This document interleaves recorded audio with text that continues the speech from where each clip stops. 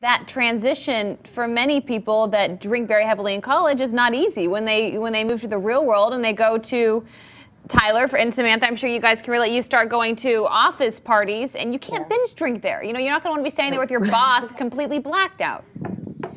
No. So how? Um, I mean, I, how did you? In your case, Samantha, how did you make that transition? Well, um, I think it. it ha- I graduated in 2012, and so I guess I I moved 2,500 miles back from college back to New York, and so part of it was being completely um, like removed from the culture of it.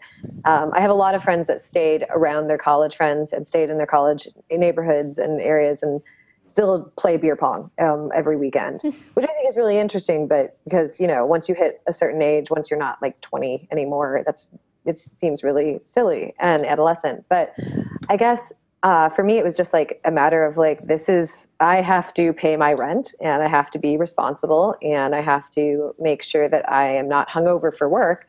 So the most important thing is is supporting myself, and I can't support myself if I'm constantly drunk. also, in the real world, you're not going to hang out at local frat parties no. or sorority. I mean, I, I, hope you aren't. I mean, you could still be in New York and probably hang out with NYU students. But Tyler, isn't that a big part of it? Is uh, you know the the uh, fraternity, the sorority, the parties they throw, and you're you're sitting there and you have kegs everywhere, and there's just this pressure to be part of what's going on. Yeah, it's a, a FOMO, right? Fear of missing out. It's it's if you're in these small towns, for the most part, the only thing going on are these parties. Um, so you want to be there, and you don't want to be standing there, um, you know, drinking a, a Sprite or something. Uh, you want to be um, you want to be a part of it. You want to be acting goofy. You want to be entertaining, just like everyone else. And that's the only way to get the attention of the uh, girl or guy that you have your eye on, or whatever.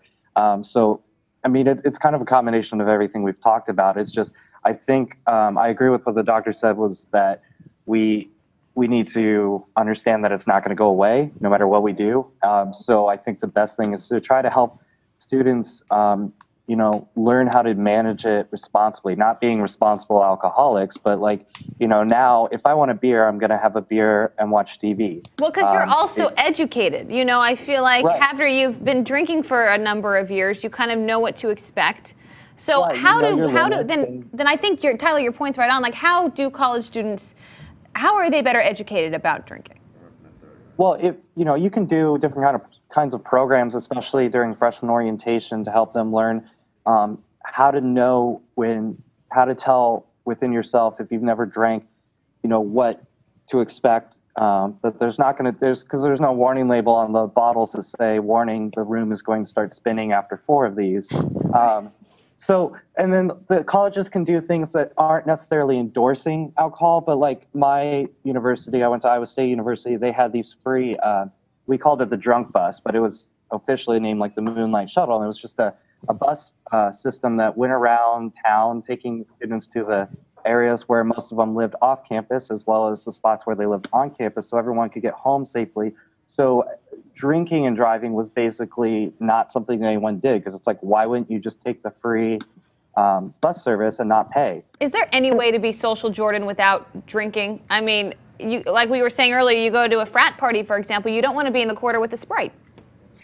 Yeah, I mean, there's still ways of being social without drinking. I mean, there's always the like just coming up with excuses like, oh, I have to get up early next morning, or oh, I'm driving, and like people won't give you crap about it. But you know, there's also so many different um, resources, especially on a college campus.